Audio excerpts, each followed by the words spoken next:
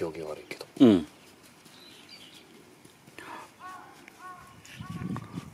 でこれだったらモルタルだからさニートより強くなるからさ。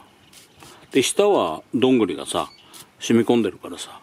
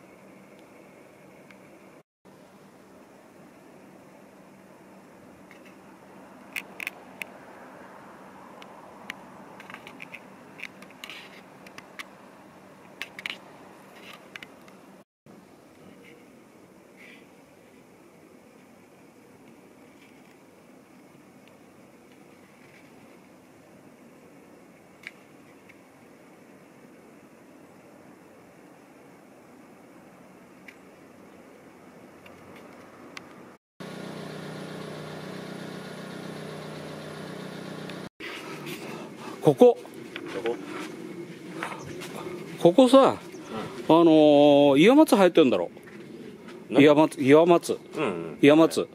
でここのとこもさこのこういうパターンになってんだろ。うん。石があって。なってるね。ね。でこれこっち。さらにこっち。ここのとこはさほら、うん。ほら白くなってんだろ。白くなってるね。うん。で石固めてんだろ。うん。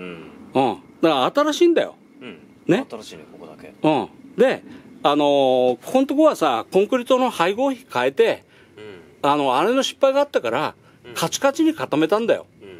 みたいだね。うん。で石もぐらつかないんだよ。はい。だけどこれだとやってる意味がないんだよ。うーん。結局これが削れないからさ。だからこれはコンクリートのあの配合割合さはい。多くして多くして。強く固めたんだよ。な？固めてるね補修してる。うん。だけどこれだとこれ苔は生えねえんだよ。うん。多分。うん。汚れるだけなんだよ。うん。それで成功してるやつはここなんだよ。ここ。うん。ここ。ああここね。ね？綺麗ね。うん。うん。ここはさあのーこれが一応目的なんだよ。うん。コンクリートって見えないじゃん。うん。うん下はコンクリートがあるんだけどあの上はあ苔がさこうやって生えてるんだよ。あ要するに間に苔が生えるようにうんそう。施工してたわけね。そうそうそう。でこっちはほら明らかにさこういった苔むしてるじゃん。うん苔もしてる。うん、下手すとさ苔もさ種類がいっぱい苔があってでかい苔も生えてんだよ。でこれさ梅雨時になるとうんと綺麗なんだよ。うんであのジメジメしてればさだから多分さこっちがこっちを狙いたかったんだけどうん技術的にあのここまではできてないんだよ。うんうん。かといってうんかあの強くしちゃうとああいうふうに白っぽくなっちゃうしコンクリートがむき出しになっちゃうしかといって弱くしちゃうと今度はあの耐久力がなくなっちゃうんだよ。うん。それもあるけどやっぱりあれじゃないかな。その苔が生えることによってうん。ちょっとこうしたその耐久度を増してるっていう計らいもあるんじゃないのうんそうだけど、かなうん。うん所詮それはあのーお苔が強度を増すってことにはうん。なんないさ。下があったって接着がうん。落ちちゃえばそれは剥がれちゃうわけだからさ。これ石が滑っちゃうわけだからさ。石がと,、ころどころだから剥がれてるんもそれはそれであるわけよ。だから石とこのあの元の土台はやっぱりあの今日あのーそういう危険性がないように強く固定されてないといけないんだよ。うん。うん。だから、あのーどんぐりでさ、下は一生懸下は固めてやって、うんで、あのーこれで、あ本当だ。これなんかそうだね。そうだよ、これ石がさ、動いたらやっぱまずいんだよ。確かうん。にうん。ね、石が動いたら、それで、あのー強力に下地はくっつけてやって、うん。そう、くっつけてやって、で、あのー苔がこういう状態で、あの、生えるような、うん。自生できるような、あのー構造体にしてやんないとさ、だから要するにあのーもうここのうん。位置までこうそう厚くそうそう。そう盛るんじゃなくて、うん。少しそ下に下げて。下げて、うん。でそこに砂利が入り込むようにすう、うん。るっていう、うん、そうそうそう。施工苔が生え、生え、生えられるような施工をすれば、それはそれで、あのー年数が経てばさ、こういう状態になるんじゃない、で、下の石は取れないんだ。了解。わかりましたうん。いや、いろいろ悩んだんだろうな。うんこういうふうにさ、どうすればさ、いいのかさ。うん。ねうん。だから歩かないとこはいいんだよ。ね。うん。で、やっぱりさ、あのーこの苔とかさ、岩松の花粉が、その、枯山水の方からさ、飛んでくるんだよ。うん。で、こういう風になるんだよ。そうじゃなきゃこんなでっかい岩松生えないじゃん。岩松がさ、これ生えないじゃん。こんとこだよ。だって犬走りの。うん。それは、そこの本体のさ、あのー枯山水のところからさ、飛んできて、あの、小さいやつから実際すんだよ。ほら、見てごらん。だってこれ全部岩松の子供だもん。ほら、これ。これがでかくなんだよ。な、で、この石がさ、この石が、あの、ぐらついたら、やっぱダメなんだよ。そうだよねうん。うん。508とえ、班長がやんだったら何？どうにやるって？俺がやるとしたら、ん表面のとりあえず砂利だか俺の部分を全部撤去してうん。1508とその砂を混ぜ合わせたもうん。のを練り込んでうん。で頑丈にさせうん。うん。てどの辺まで泥があるかどうかっつう問題だよな。まずそれ見てみたいと、うん。あまりにも深すぎた場合は、まあしょうがないけどちょっと表面だけ撤去しちゃって、でその表面から、要は、そこのところ転が、転がると危ないでしょ。危ないああの、知らない人がさ、そこと乗っかったりなんかすると、まさか、あの、そこの、この石がさ、あの、動くとは思ってない人がさ、そこのところを乗っちゃったらさ、危ないじゃん。うん。だからっつうパターン。うん。まあ、とりあえず様子、それ見てさ、うん。それでさ、あのーその遠いからさ、水が流れてくる、来たりさ、砂利が入るから余計さ、ここのコンクリートがさ、あの、ダメになっちゃうんだよ、多分。うん。だから要は削れちゃうんだうんちょうどその、あれだもんな、水の流れ道だもんな。その感じがさ、ダメになってるとこが。だから、コンクリートを流したところがさ、もしかすると、でも施工確認してからさ、それやってるだろうから、やっぱり、あの、メンテナンスしないと、あの、破損されてるんでしょ。うん。やっぱり、あの、耐久性の問題だからね。そうじゃなきゃ、これ全部コンクリートでさ、だって他のは、あの、接着してるわけだからさ、その水の流れでしょ。やっぱりどう考えてもうんとりあえずつうことでちょっと深刻だよな。やっぱさこれでも修理できないとこれダメだよな。だからさっき言ってたそうん。の1508のパターンあ1508あどんぐりね。どんぐりうんうん。と砂を混ぜ合わせたやつあであ折ればうんいい感じに整えられるから。そうだよ。ただここの部分だけでいいの、ここの部分だけじゃなくてもうんここの区うん画の砂利を全部撤去してうん。施工を始めようかな。うん。そうだよ。うん。じゃあどのくらい取れるかだよな。うん。それ泥がだからの乗ってるんだよな。多分。だから多分これコンクリの上にもうこれが乗ってる状態。そうだよ。コンクリート一番下のコンクリートを打ってでそこのところはあの石敷き詰めたんだよデザインなんだろう。デザインなんだかそのあの平らの石が 足んなかったんだかそれは知らないよ。多分デザインなんだろうね。ボコボコした感じのがいいっていう。デザインなんだろう。デザインだよね。そっちもさ、うん。あのーなってるからところどころさこの黒い石さとこの平らなやつをあの散りばめてね。デザインなんだよ。だから多分多分あれだろうね。あのコンクリートを一回敷き詰めた上にこうそうそうそうそうそう。そう乗せてったんだ。そうそうそうそう。そうそれで石をさこう配置さしてるんだ。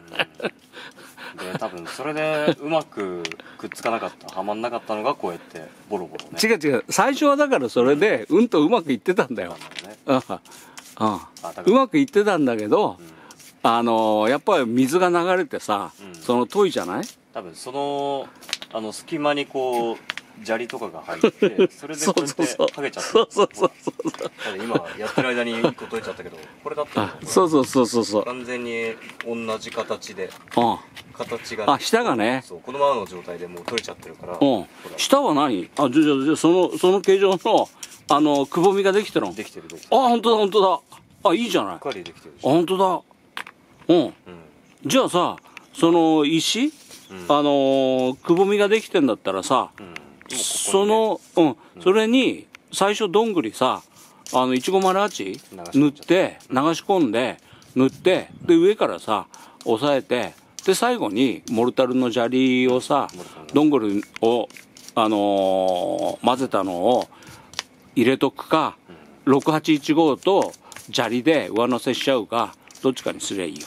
あれ1508ってあれ水分反応型のエポキシそですよね。あじゃあ完全にあの水分撤去しなくてもちょっと湿ってても大丈うそう。なんです。湿ってない湿ってた方うん。あのこういうところってさ木もそうだけど必ずあの水分があるじゃん。だから、あの湿気があるじゃんだから水分うんと反応しないと施工してもあの FRP がさやっぱり弱くなったり取れたりするじゃん。あダメじゃん。わかりました。じゃあで固めのブラシってどういうこと？あの真鍮のブラシ。それともそれより固めのブラシってこと？そんなに固めじゃなくてこれは何製？それナイロン製。ナイロンだからあナイロンブラシ。この先の部分がもうちょっと太めのやつとかで。ナイロンはそのあないよ種類はその太いやつ。どうかな。ちょっとああと流し台のそのさっきや使ってたそのほうき？これ？要するにこれこれが太め太めぐらい。だよこれだと太すぎるからこれとその中間っつうのはないよ。まあ金属じゃないと、ちょっと探してみるか。うん、それかあのー今だったらあのお掃除ブラシみたいなとこだ。よ、うん、塗料のあのブラシじゃなくてお掃除ブラシみたい金ブラシだと隙間まで入らないから、まあ、表面削るんだや真鍮のブラシだったら入るよ。うん。まああとやっぱこうやってる時にあのうん。石この石とか傷つけちゃうから可うん。能性もあるから。それとあのすごく効くのはあのその何回も言う通りはい。歯磨きのブラシで一回一度使ってみな。行く前に一度使ってみな。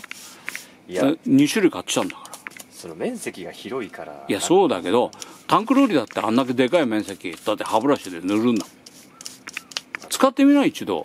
そのブラシよりずっと強いから。わかりました違う違う分かりましたじゃなくて一度使ってみな。それ。わざわざそれあの使うように塗るように歯ブラシ買ってきたんだから。2種類。山切りと普通のあともう1種類。山切りの。あまあこういう目の細かい部分には。そうだよ。いいね。目の細かい部分には。そうだよ。強いじゃん。最適ですね。そうだろう。あとその山切りの使ってみな一度。まああとやっぱ藻があるからそれもあるしね。効くだろ。長いハケより効くんだよ。今だって施工やるときにあのー鳥お化けよりはその歯ブラシ一番使ってんの？あその石さめくれたところおーあの形状になってるところその歯ブラシで下ついてみな一度。おやっぱすごいあれじゃん。溜まってるじゃん泥が。すごい溜まってる。それ泥か砂利かわかんねえ。あそれあれか。あの屋根から流れてきた細かいその問いから流れてきたあのヘドロみたいなあれか。あのこうやってやっぱ泥見る限りは、うん。あれなんですね。その砂利とかこう土で埋めたんじゃなくて、うん。やっぱり初めはコンクリートでやってたんだけどうんそう。やっぱそこに砂利が溜まって。そう。コンクリートでやってたんだけど、で石もやってだから最初やった時はあの石がさ乗って綺麗だったんだよで硬かったんだよ。うん、それが、あのー雨水とかさなんかで浸食されてあの砂漠じゃないけどさ寒暖差で、うん、でここのところ日が当たるじゃない。だからそれで、あのー伸び縮みでさみんな壊れてさ、うん、そこのところに水と泥とさみんな染み込んでなったんだよ。削れてでうん弱い部分がこうやってねめくれちゃってるんうんめくれちゃったんでしょうねうん、弱い部分って、うん、が削れてっていうことだけど、あの、もともと、やっぱ、強度がもう足りなかったんだよ。っていうか、このコンクリートの強度より、やっぱ強いんだよ。で、接着力がやっぱ弱いじゃん。どっちかっつうと。で、石は持ってるけど、そこの間埋める、あの、目地材みたいなさ、あの、働きのコンクリートがさ、やっぱ削れたんだよ。うん。で、下の石はだから、施工のそのディンプルはさ、残ってんだよ。だからそれがクラックいったら大変だよな。結局な。でもこれやっぱそれ修理施工しとかないとさ、乗った時にさ、これは転がったりすると危ないよ。うんうんうん。危ないそうだよ、危ないよ。うん。こういう感じでうんやればいいそうだな。ここまで深刻な全体施工になるとは思わなかった。そこのクラックがさ、やっぱり、あれだと石が、すね、の乗っかって滑るとさ、危険じゃん。危険ですねああでもこれだったらあれだよな。その小さい石も、あの踏んだら危険だよな。それな。これが多分一番危険かもしれうないん。下手すると、あの足首捻挫しちゃうよな。うん。で、ここのとこさ、その石が、い一番平らな石があるじゃん、メインの。はい違う違う違う、その、あの衣装ケースが乗ってる石、平らな、でかい。踏み台、はい踏み台。踏み台そこがさ、結局上がり下がりするじゃん。そっから。ここうんうんうん。だから余計にそうだよな。うん。よかった。晴れて。うん、これ雨降ったら、ここのところあれだもん。水が流れるとこだもん。な。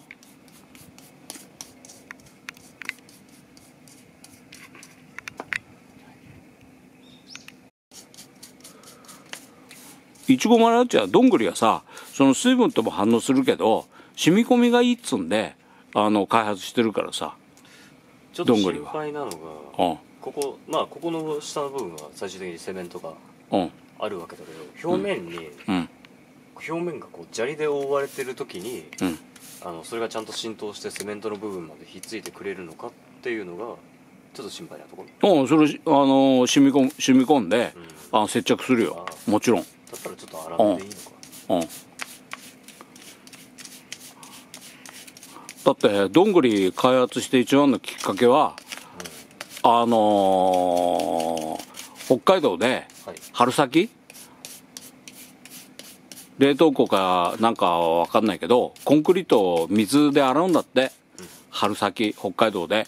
でその時に次の工程に移りたいんだけどコンクリートが水で洗ってビチャビチャしてると次の工程移れないからそれでその処理処理するコンクリートの濡れたところを低温でも処理できる染み込み度合いの強いものはないかっつうんがさ開発の一つのテーマだから。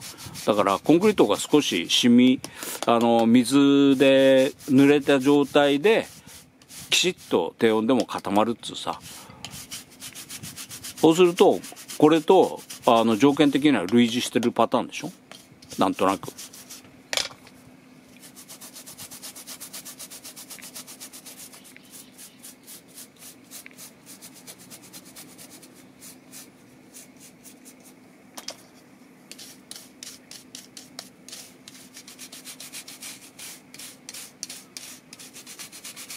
ね、自分で作業やってんだったらそれにあの一番いいようなブラシ？あのーどんなんがいいかめっけてきて。はい。はい。以上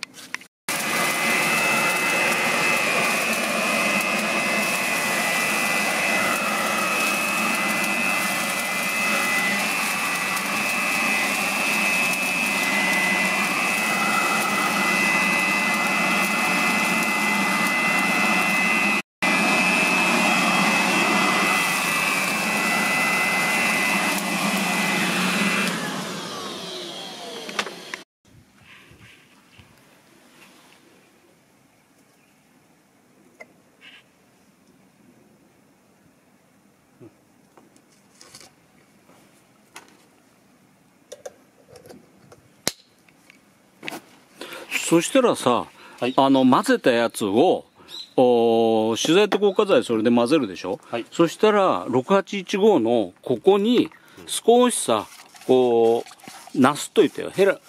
ほんと6815のさ、はい。固まったのが分かるからさ。あこっちあれだな。いちごまのやつの固まったのつけとけばよかったな。うん。どっちかっていうとここのところにさ、はい。6815のさ、うん、固めたサンプルですってさ。つけといてそうオッケーオッケー混ぜやすいだろ。うん。すごく混ぜやすいです。うん。なんとなく違うかい。あのどん,、どんぐりと。あっちよりも練りやすいよ。あそうだね。ちょっと粘度が低いぐらいの感じであの作業時間はちょっと長くなるからこっちの方が。うん。OK よ。そしたらここにつけて置いてほしはいい。ね。うん。そう。それが6815ですよ。つ OKOK いいよ。はい。じゃあ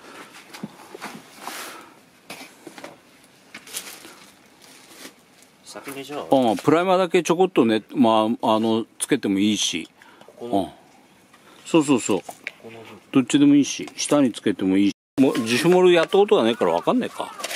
そうです。コテもあるんだよ。あ、見たね、コテ。いやいやう、いいね。それで、3時ちょっと前だから、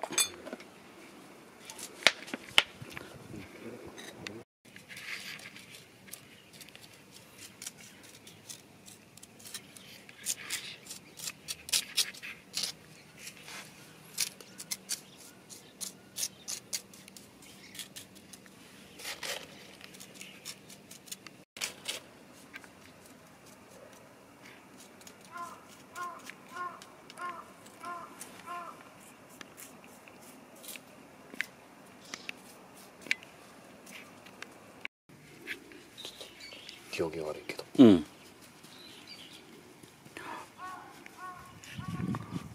でこれだったらモルタルだからさニートより強くなるからさで下はどんぐりがさ染み込んでるからさ